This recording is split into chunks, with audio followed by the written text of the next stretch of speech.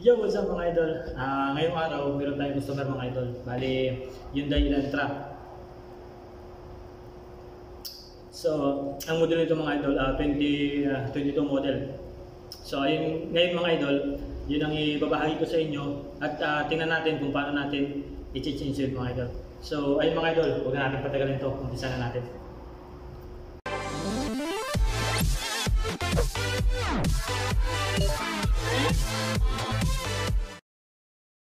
Yo, what's up mga idol? Bali ang ah, may customer tayo ngayon. Ang uh, uh, change naman natin ngayon ang ipababahagi ko sa inyo mga idol kung paano i-change oil ay ah, Hyundai Elantra.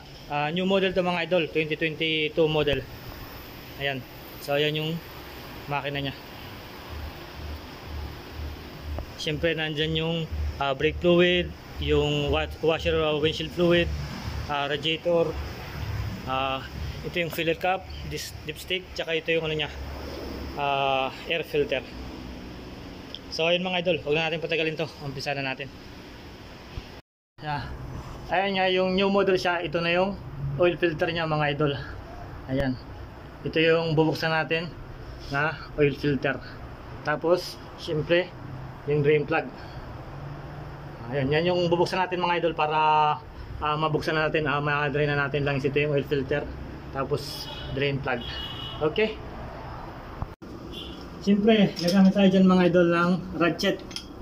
At saka sa drain plug, ah, 17. 17 mm. Tapos, ito yung pambukas natin sa oil filter. ah 24. 24 mm. So, ayun mga idol. Buksan na natin.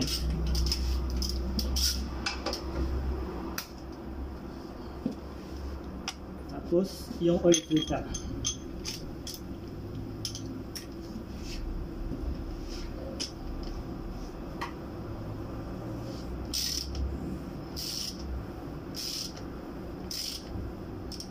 So okay na mga idol, bali i-drain lang natin yung langis. Ayan. Ito yung oil filter mga idol. Bali ah, naluagan na natin yan. Ito lang natin. Tapos yung drain plug, pasiriti na natin yan. Bali, ang kilometer lang ito mga idol, ah, bagong-bago, 11,000 pa lang. 11,000 kilometer pa lang siya mga idol. Siguro first time niya lang itong uh, mag-change oil. Tapos ito yung ah, oil filter. So patagasin na rin natin.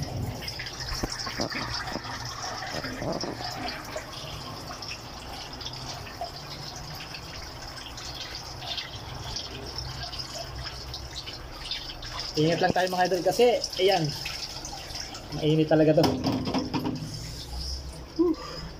idol, tops up naman tayo. Ah, tinuunahin natin tong ah, brake fluid. So, may indikasyon naman yan mga idol kung ah, may label naman siya. Ayan. Titingnan natin kung ah, kulang siya. Ayan. Okay naman siya mga idol kaya hindi na natin siya nalagdagan. Tapos ito yung air filter. So, tanggalin lang natin to. Ayan. Ayan. Tapos ma-open na natin yung air filter. So, lilinisan lang natin to. Ayan. Tapos dito naman tayo sa radiator fluid mga idol. So ayan ito yung marker niya, yung indication niya. So ayan mga idol, kulang siya. So dadagdagan natin siya. Tapos itong uh, sa washer uh, fluid niya. Tapos buksan lang natin yung fillet cap mga idol para magtuloy-tuloy yung langis. So ayan mga idol, bali dadagdagan ko lang yan tsaka itong washer fluid. So ayan mga idol, uh, dinagdagan na natin siya. So dinagdagan lang siya natin ng konti. Medyo pinalampas lang natin sa sa indicator niya. Tapos ah, ang coolant niya mga idol, red coolant siya. Kasi ah, karamihan ngayon yung mga bagong model na ah, radiator coolant is ano na, red na. Dati kasi yung mga old model is ano, green. Green coolant.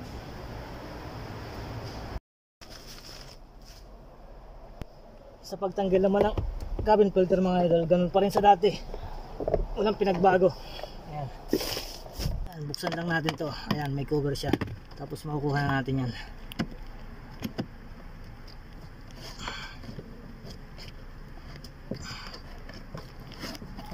So, ito mga idol, hanginan lang natin tapos linisan tapos ah, balik na lang ulit natin. Sa pagtanggal naman ng oil filter mga idol, ayan, ito siya. meron siyang lock. Ayan, tatanggalin lang natin yung lock na yan. Kasi pagka hindi, hindi natanggal yung lock na yan, hindi natin mahuhugot yung oil filter. Kailangan natin tanggalin yung lock. Ayan. Tanggalin lang natin, tapos makukuha na natin yan.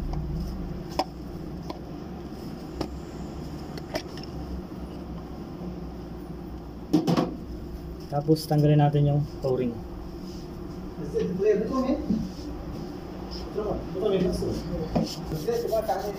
Sinisan lang natin ito mga idol. Siyempre yung bago meron din yan.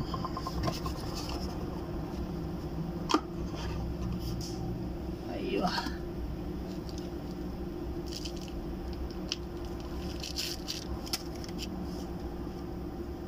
Yung bago, meron din yan. Tapos ilagay lang natin siya dito. Tapos, may butas siya mga idol. Ayan, butas.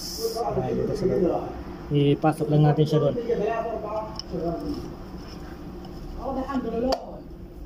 Ayan. Tapos, ibalik lang ulit natin yung lock na bago. Kasama siya sa oil filter mga idol. Balik lang natin yung lock.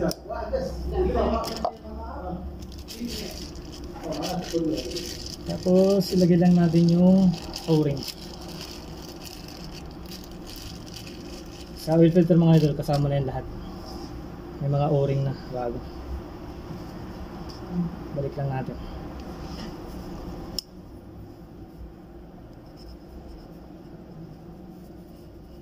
Matapos yan, ikabit na lang natin ulit.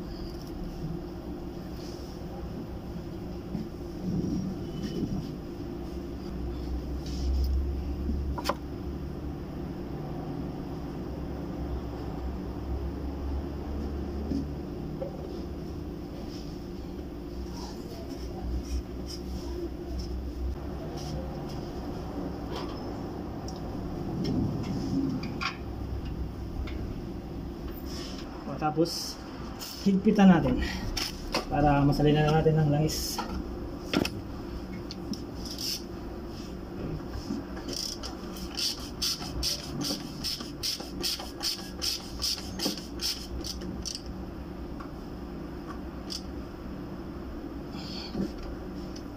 Okay na.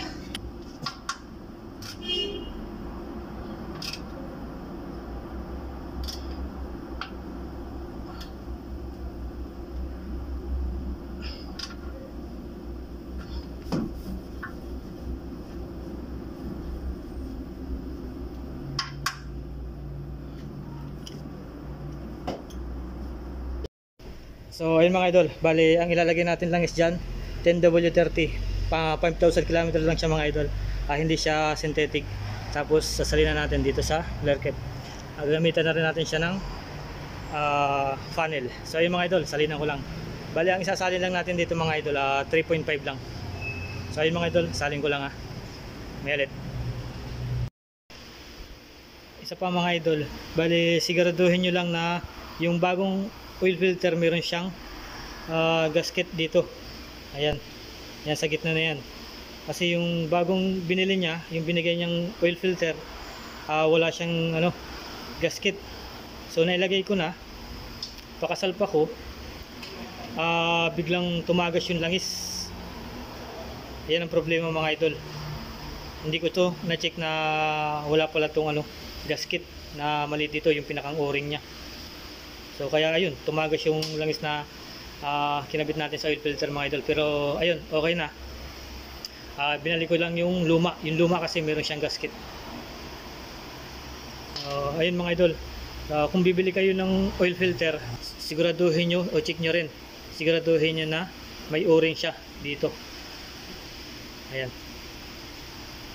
So, ayun mga idol, bali tapos na natin na change oil yung uh, Elantra.